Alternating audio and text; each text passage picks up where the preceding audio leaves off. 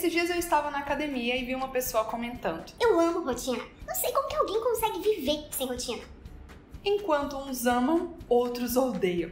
Tem pessoas que dizem: rotina não é de Deus. Imagina fazer todos os dias a mesma coisa. Isso me parece um tanto quanto monótono, muito chato isso. O fato é que todos nós repetimos padrões de comportamento. Temos rituais diários, queira você ou não. Todos os dias você tem o hábito de colocar soneca?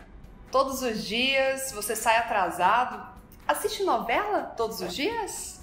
Ou então gosta de trabalhar sem planos, sem agendas e chega no trabalho e pensa: por onde eu começo? Tenho tanta coisa para fazer que eu nem sei por onde começar. Se você passa por isso, então você tem uma rotina. Todos nós temos essas repetições, temos rotinas. O fato agora é saber se a sua rotina é do bem ou do mal. Por exemplo, ter uma rotina do mal significa acordar cedo, meditar, e malhar todos os dias, academia, depois cumprir tudo aquilo que você colocou na sua agenda. E ainda, no final do dia, vai ler um livro, estudar, fazer um curso. Olha, esse negócio de ter agenda, de ter esse tal de disciplina aí, parece que escraviza as pessoas, não é mesmo?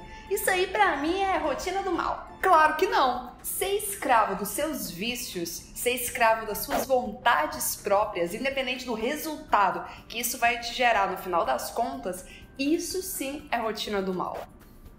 Vai por mim. Mas não é muito melhor viver com adrenalina, viver com emoção? Tipo isso aqui, ó. Você repete o soneca três vezes, acorda desesperado, cai da cama, já tá atrasado. Pega a primeira roupa que você vê, que você não escolheu na noite anterior, então você tem que escolher agora. E, meu Deus, é a primeira que vê mesmo. E aí você já vai pensando, que desculpa que eu vou dar pro meu chefe? De novo chegando atrasado. Vou ter que ser criativo, hein? Se for mulher, faz a maquiagem no carro mesmo, enquanto come o pão que era de ontem. E o segredo é esse: é fazer muitas coisas ao mesmo tempo, é ser multitarefa, porque ó, isso aí é que funciona, isso que dá certo. A gente só não entende por que, que a lei de Murphy é meio fatal nesses momentos, já percebeu? É nessas horas de atraso total, de pânico geral, que no trânsito tudo congestiona.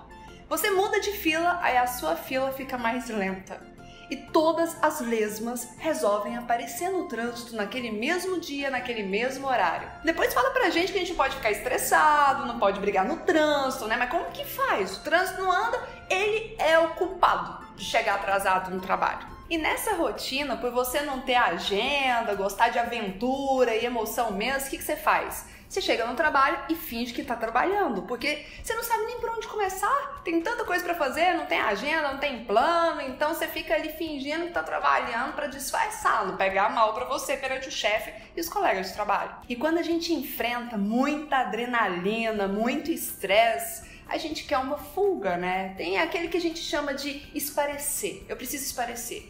Então chega um momento que você trava ali no trabalho, não consegue mais pensar, não consegue mais refletir, o que você vai fazer?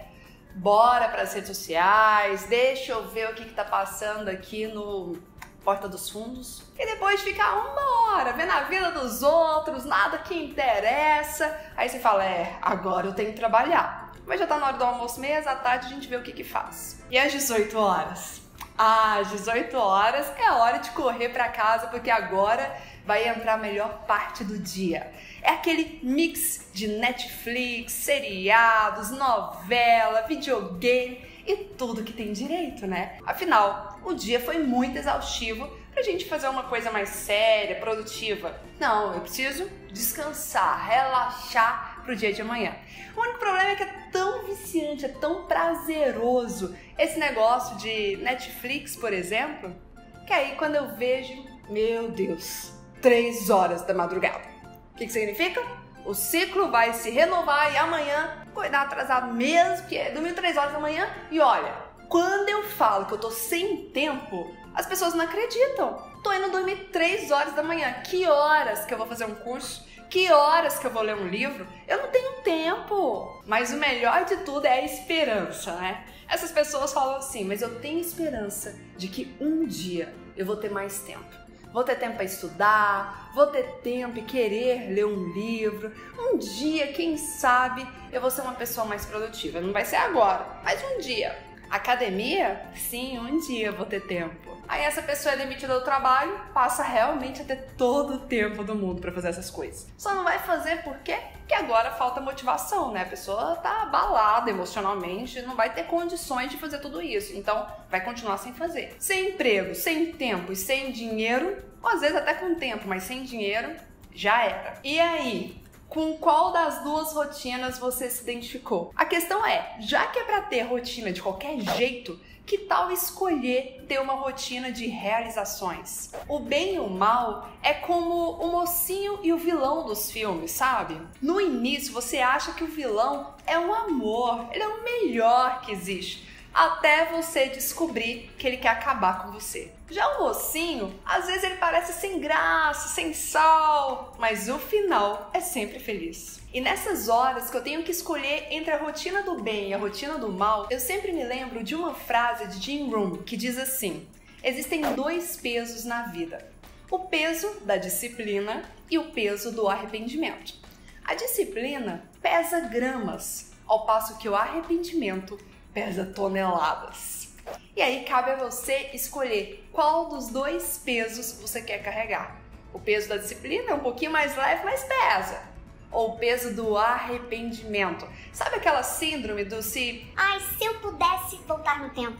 Se eu pudesse fazer diferente. Se eu tivesse outra mentalidade naquela época. Evite essa síndrome, porque é um peso fatal. Me conta aqui nos comentários Quais são as rotinas do bem e do mal você tem visto muitas pessoas cometerem? Aqueles hábitos que se repetem, sabe? Me conta aqui. E você quer saber sobre uma rotina do bem? Estudar e aprender todos os dias. Essa sim é uma rotina do bem. Se você já está aqui, isso significa que você já tem uma rotina do bem. E para ficar ainda melhor, se inscreva na Masterclass Inteligência Produtiva. Já se inscreveu?